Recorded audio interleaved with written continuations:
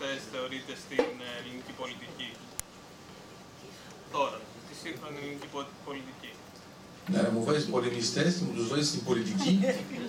Αυτό έκανες; Ναι.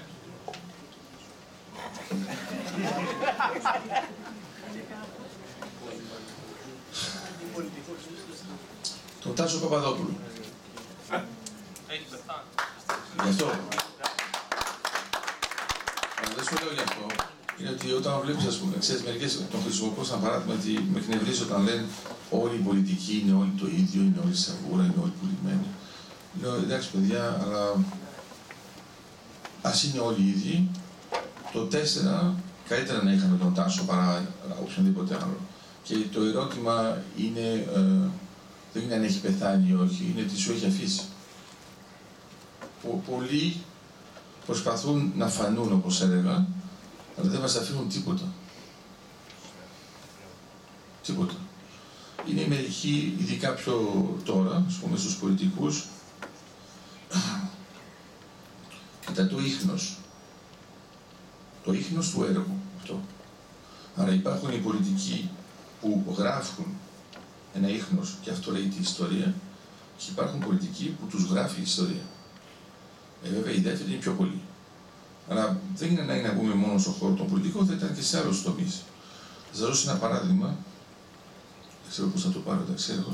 Σε κάποια φάση είμαι σε ένα μάθημα και λέω, παιδιά, ξέρω ότι δεν σας αρέσει ο Αγιεφά, δεν σας αρέσει ο Αγιές. Εντάξει, αλλά βέβαια όσο λέω έτσι, λένε ναι, ναι, ναι, ναι. Οκ, άρα λέω, Λοιπόν, θα πάρετε μια κόλλα, θα βάλετε το όνομά σας εδώ και θα μου πείτε ποιοι είναι οι πέντε που είναι οι καλοί. Και τις μαζεύω. Εδώ πρέπει να δείτε τι είναι οι φάτσε. Ούτε να κουμπίσουν το μολύβι δεν ήθελα. Ξέρετε γιατί; Γιατί έχουν καριέρα μετά. Γιατί βέβαια τους είπα, εγώ θα σας βοηθήσω, θα το πω στο Υπουργείο. Το προωθήσω. Θα πω, ας πούμε, οι πέντε καλύτεροι είναι αυτοί, και όλους τους άλλους έχουν πει μείον ένα, μείον δύο κτλ. Πω, πω, πω, πω, πω, πω. Να το ξέρετε, το έχω κάνει σε όλους. Και αεροπορία και στρατό. Όλοι έχουν κάνει έτσι. Πω, πω, πω, τι είναι αυτές οι ερωτήσεις. Για ποιο λόγο; Μας αρέσει να λέμε γενικολογίε, αλλά όταν πρέπει να πεις ένα όνομα, δεν τολμάς να πεις ότι δεν είπες το άλλο. Και άμα το άλλο είναι ο προϊστάμενος, άστο καλύτερα. Άρα εδώ δεν ξέρω γιατί σε ενοχλεί που πέθανε ο Τάσος Παπαδόπουλος. Εμένα αυτό που δεν με ενοχλεί είναι... Μα ρώτησα για τους αντανούς. Ναι, αλλά ποιος σου είπε ότι έχει απάντηση; Κατάλαβες, μου έθεσες ένα πρόβλημα. Μου λες θα μου δώσεις μια απάντηση. Σου έδωσα. Μου λες είναι νεκρή. Και... Αν άφησε έργο, ανελήφθη στους ουρανούς, δεν πέθανε.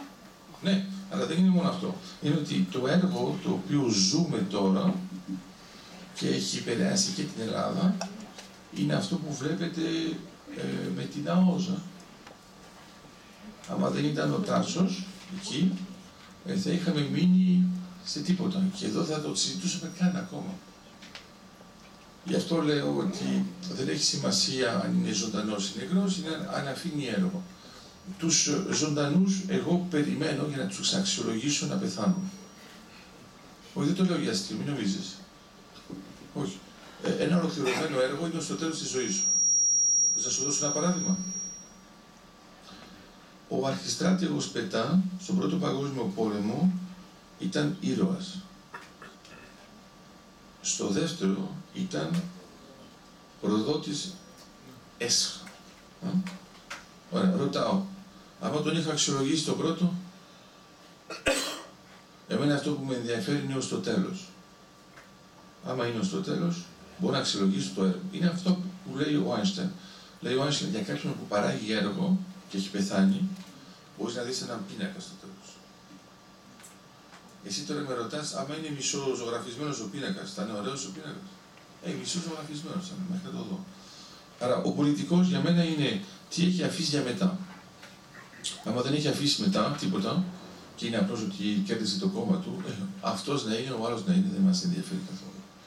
Άρα, επειδή θεωρώ ότι η στρατηγική και η ενέργεια είναι πιο βαθιά από την πολιτική και την οικονομία, δεν με απασχολεί.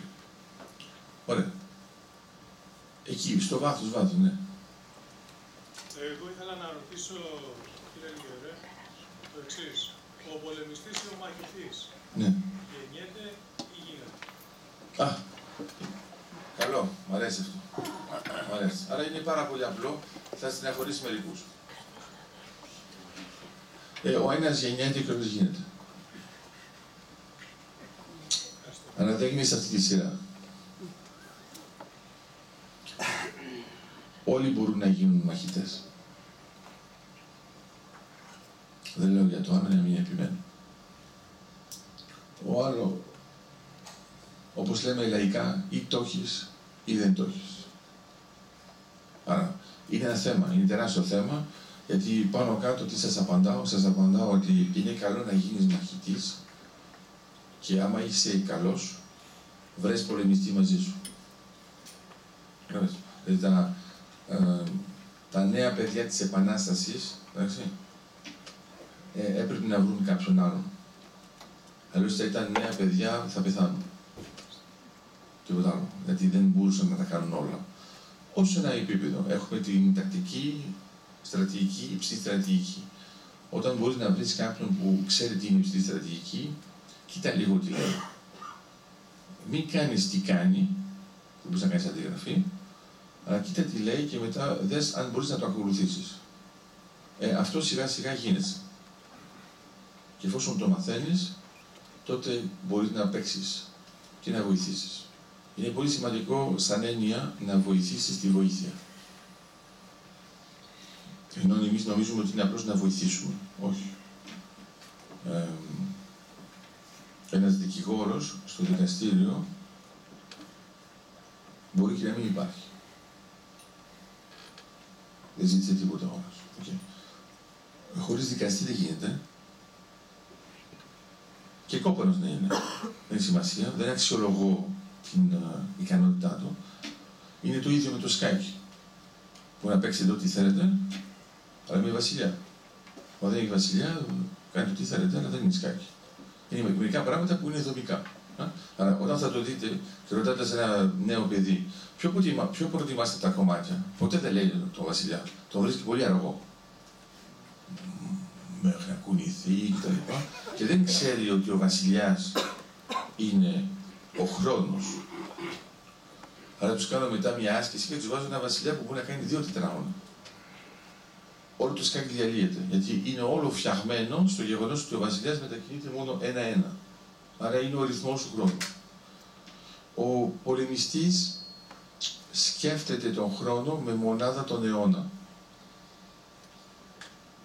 Ο μαχητής με τον χρόνο ένα έτος. Είναι άλλες ιδέες. Γι' αυτό, όπως καταλαβαίνεις, στο Βυζάντιο είχαμε αρκετούς πολεμιστές. Και γι' αυτό άντεξε. Ενώ το είδατε πολύ καλά, ε, αμέσως μετά τον Μέγα Έσταρο, οι λεγόμενοι διάδοχοι, μόνο διάδοχοι δεν ήταν. Γιατί ήταν οι περισσότεροι ήταν μόνο μαχητές. Άρα εξαφανίστηκε το στρατηγικό σκέλος και όλοι οι άλλοι ήταν ο καθένας για τα δικά του. Ο πολεμιστής μπορεί να πάψει κάποια στιγμή να είναι πολεμιστής; Ναι, όταν είναι νεκρός. Όταν είναι. Νεκρός. Συμβαίνουν και αυτά, πεθαίνουν και αυτοί. Αλλά δεν μπορεί να πάψει, αλλιώς είναι εκφυλισμός. Ο μαχητής μπορεί να πάψει. Ο πολεμιστής όχι. Γιατί είναι το δομικό στοιχείο. Είναι σαν να σου πει εσύ πατέρας.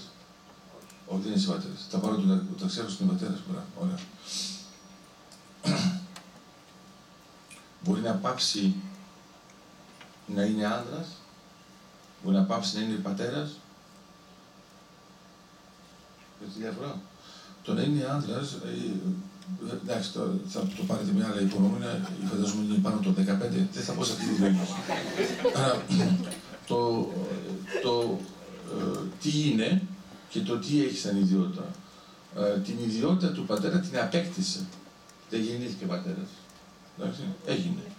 Και ας πούμε, άμα όλα τα παιδιά του πεθάνουν, η έννοια του πατέρα είναι θεωρητική. Το άλλο είναι δομικό. Είναι αυτό. Άρα ο πολεμιστής είναι δομικά, είναι αν θέλετε οντολογικά. Ενώ ο άλλος είναι τελεολογικά.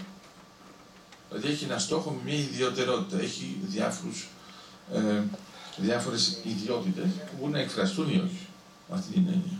Αλλά όχι δεν το χάνει. Ναι. Εκτός βέβαια, ε, ακόμα και όταν πεθαίνει, για να είμαστε ακριβείς, από το έργο που έχει αφήσει, ε, το γεγονός ότι εγώ ξαφνικά τώρα σα μίλησα για τον Θεόδωρο, ε, δεν είναι επειδή είναι της σύγχρονης εποχής, γιατί το έργο που άφησε, παρόλο που τον φυλάξαν, ε, είναι τόσο σημαντικό που μπορούμε να κάνουμε αναφορές ακόμα και τώρα. Αλλά το πνεύμα του πολεμιστή δεν πεθαίνει, ενσωματώνεται στον πολιτισμό. Είμαστε εντάξει. Ευχαριστούμε πολύ. Να μας επιτρέψετε την επικράτεια του κυρίου Προέδρου και εσάς και τον κύριο Ταξέρνο να συνεχίσετε στους μας. Να σε καλά. Εγώ